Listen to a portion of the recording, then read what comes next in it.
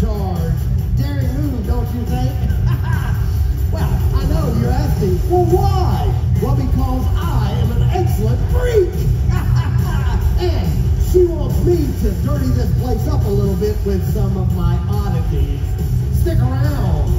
Things are about to get strange. now, you know my proclivity for all things bizarre and peculiar.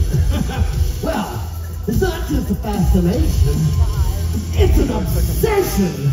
Look at me, look at me, look at me. Feast your eyes on some of my most prized collectibles. Oh Each having their own unique vial energy to ignite the night. Okay. Now, you were probably wondering where I get all of my oddities. Well, I'll let you in on a little secret. Your sick imagination. you bring them into this realm, not me. I am just your humble ringmaster, simply welcoming and showcasing them. Fetch me the book. You see, the Queen has given me a book that will allow me to control all of my oddities. Sounds fun, doesn't it? From the depths of darkness, I, Bob call upon thee to rip and extract all things grotesque and vile from your twisted mind. My oddities will harvest your fears and slaughter any hope you have of surviving this bloody night. Now, get ready for your close-up.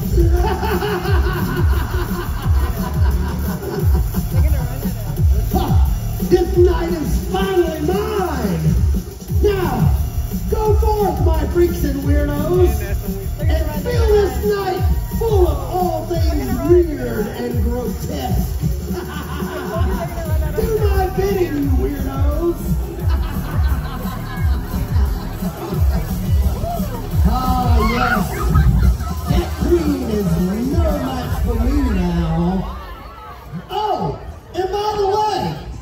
If I said anything that offends anyone tonight, let me just say from the bottom of my heart, I don't care.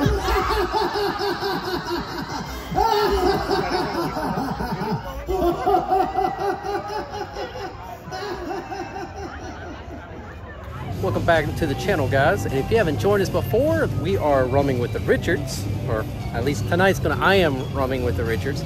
I'm Jonathan. Um, my wife Angel, or otherwise I'll say Angelica at times, is not here with me tonight. But tonight we are here at Carowinds for their opening night for Scarowinds, um, and it's also Friday the 13th.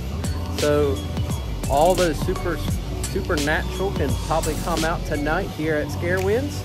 And the main focus is Fright Lane. Now Fright Lane gets you into each house one time without uh, as far as skipping the lines. And then you can also ride as many rides as you want that is open for the uh, park that's open throughout the night. You get to ride them as many times as you want by skipping the lines because it also comes with the fast lane. Um, the total cost is $82 and it's all it is is this, which is the fright lane and the fast pass.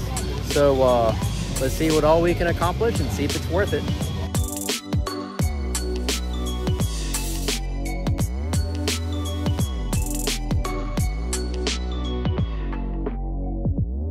Kind of main strip of the park as soon as you enter right here at this coffin display. And they've also got other kind of neat trinkets that you can get. That's all light up pretty much so in the main gift shop area they also have um, another display for Scarowinds merch like this interactive lantern that you can buy I think that's called Squishmallows, candy corn, a jack-o'-lantern, a ghost, and a black cat. What's going on, guys? We are here at Scarowinds for the opening night here on Friday the 13th. We just ran in uh, with Jay from Vic Ventures. Did I say that right? That's right, Vic All right. Um, we just ran into them as well. Definitely uh, check them out. We're going to put their link in the uh, description below to help them out. Follow them and uh, hit the- that notification bell for them as well in case their uh, Scarowinds video as well.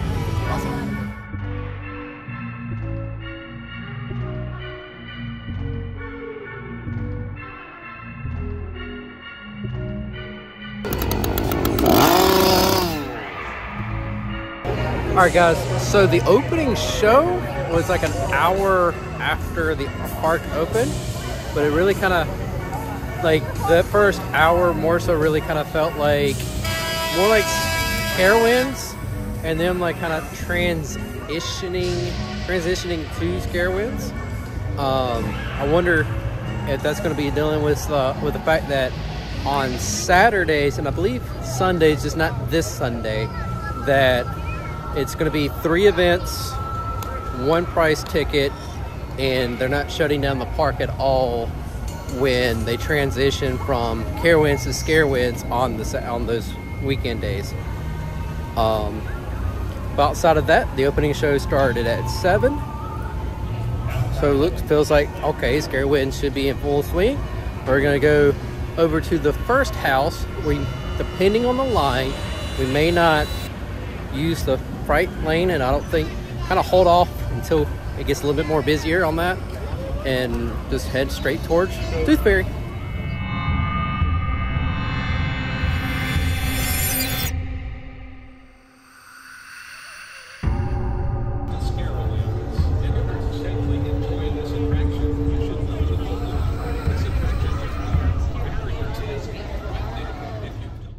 All right, so the uh, just waiting in the regular line since it's like still early on during the day or during the evening, there's only like a minute and a half wait.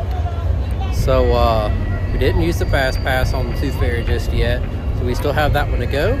But we've got not just one but two houses because I didn't I forgot to mention like when we first were when we were kind of having to wait on the uh, next like as far as the opening show, we ended up was we and went through Slaughterhouse then. So already we went through two houses, and we still can be able to go through all of them again using the Fright Lane. All right, so we're gonna do the same thing with paranormal. We're gonna uh, just more so go through the regular line right now, see how long we had to wait, where the park is still it's still very early on, and then uh, go in and probably later on the Fright Lane pass. All right, so you see how the line is kind of backing up now. The wait that we had was like almost 11 minutes. And so we're still, again, once again, we're still able to go back through this with the Fright Lane. And the later it gets, this, the more backed up this uh, haunted house gets. Hello, hello, friends. It's very nice to see you all tonight. All right, so over here by the Carousel Park and the Carowinds Theater, it's time to catch the first showing of The Waking Dead. Or Wake the Dead.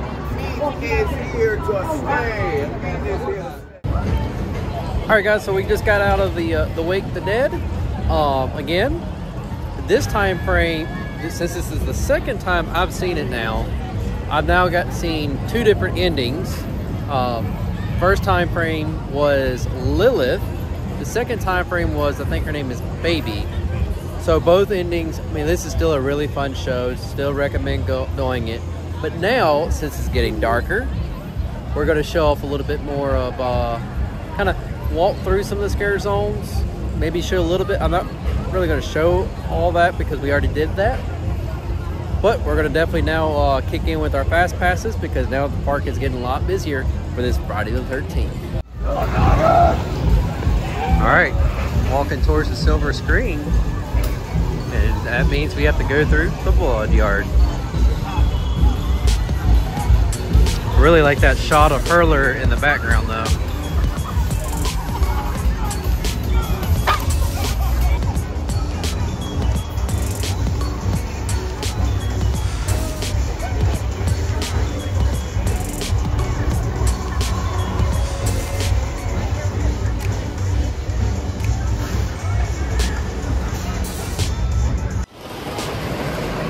So uh, Silver Scream is now off the list for us tonight with the Fright Lane Pass because where we've already used it. So what they do, want to flip it over. It's got all the house's name on the back of the pass. And uh, each time from you use it, they use a hole punch just to kind of punch it out, saying there you can't use it again for that house. Uh, we did go through the house twice tonight as well um, kind of back to back. But we also seen like a bunch of scare actors come in, and we're like, all right, let's just go ahead and use the Fright Lane, definitely this time, and go ahead and skip the line. The line's still not really bad. It's actually not that busy for Friday the 13th. Um, so I'm wondering if Saturday, like tomorrow night, is going to be really slam packed, given the fact it's an all day event completely. Um, but outside of that, Silver Scream is still one of the best houses here as far as like it's top notch to me.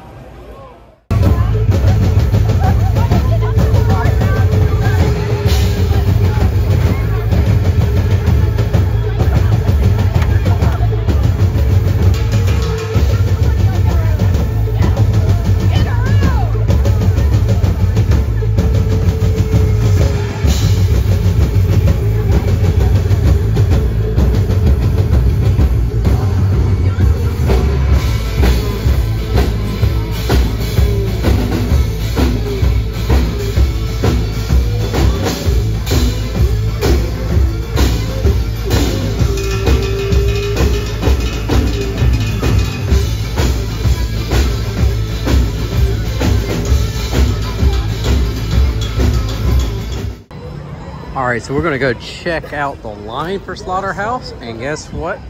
This is where we got it. Glad we already went through the queue, regular queue line once tonight because it's already slam packed. This is again an instant classic here. So we're just gonna go through the Fright Lane.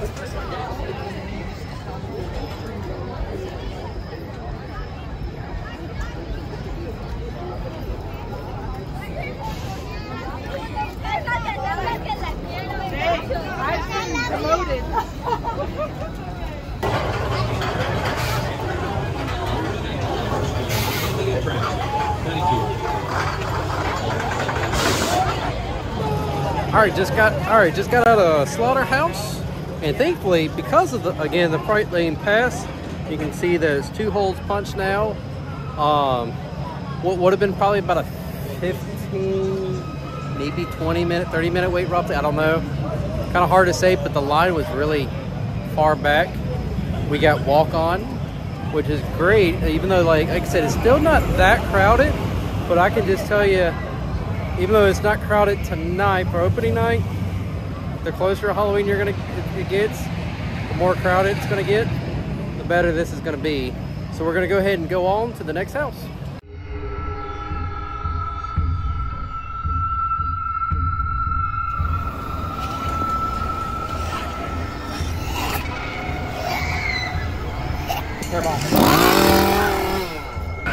So here's one thing that we didn't get to see during, or more so smell, during the preview night, and that is the fog machines in each of the scare zones have a different kind of scent when you go in them. For instance, Harvest Beer right behind me has the smell of caramel apples that kind of fit the vibe over in the county fair area. Now to go ahead and inform you as well, um, this area, Camp Snoopy, the only thing is in it is the haunted maze or the haunted house. Um, all the rides are shut down. This whole entire area is pretty much shut down. You can still walk through it, but it's pretty much just to get to the haunted house, and that's it. All right, guys. So since Depths of Dark, we just now finished Depths of Darkness. Uh, we've only got two more houses to go using the uh, Fright Lane. But then also on top of that, again, we have all of the fast lane rides that we can want to ride for the rest of the night. So uh, I think the next direction we're going to go is going to be towards Tooth Fairy. Hello, friends. Welcome to Lobotomy's Oddity. Watch out for the clowns, because I don't control them. Thank you. Please stay forever. Hi! Wow, you know you you can talk too. Can't Yeah. talk. No. Talk? Oh, well, it's okay. I talk enough for the both of us. I like to talk all the time. The bugs in my head, they're always talking all the time. And there's also an orchestra going on. And so it's like, da da da da da da da da da da da da But it changes and then they're arguing because, you know, the bugs just don't get along because there's different kinds of bugs. And then I'm, I'm trying to talk and they're like, yeah, you know? So it's okay. You don't have to talk.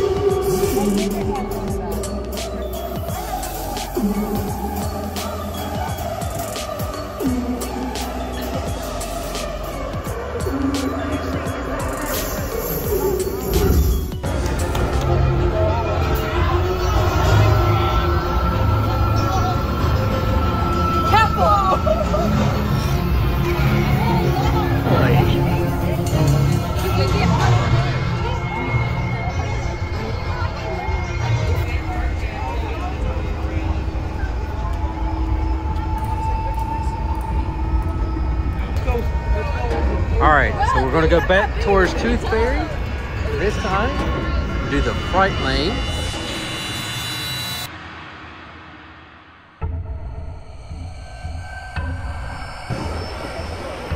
All right, so just kind of give a little bit more of an update. We've uh, already hit five, well, went through five houses total. Well, so therefore we've already went through all the houses.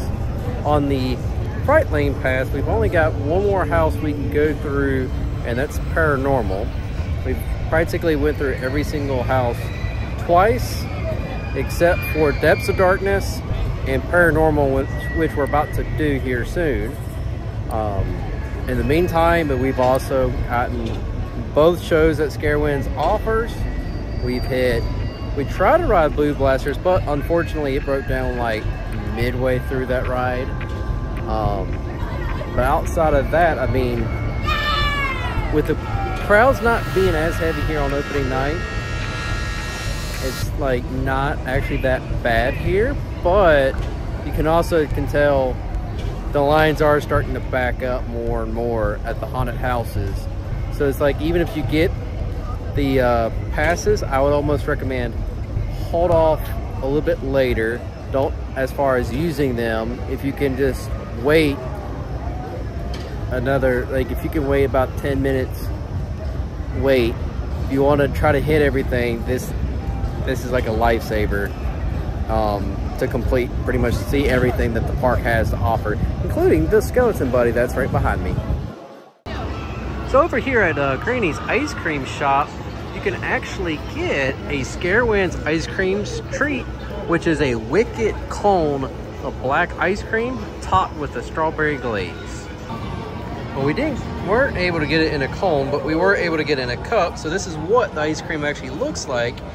Um, so the strawberry glaze that's kind of laying on top, it's really neat how they how they laid it out because it really looks like blood, especially in this lighting in the gaming area right next to it. Uh, Granny Smith, Granny's ice cream, not Granny Smith. That's an apple. All right, guys. So with the time winding down on how much time we got left here in the park and the line for paranormal is building up, we're just going to go ahead and use our last Fright Lane pass and go ahead and go inside Hayden Hill. All right, guys, that's going to do it for us tonight.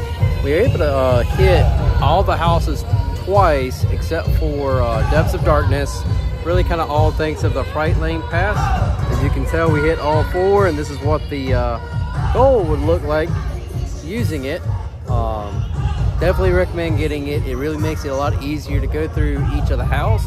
And if it wasn't still that bad of a uh, night, you're probably going to be able to hit it more than once. And if the line did back up, you just got that to help you out. If not, you pretty much was able to go through the line and hold on to it later on in the night when it starts getting a lot more busier. Um, and then if you did use it pretty quickly, you would have the fast lane, or you can use the fast lane passes actually earlier on.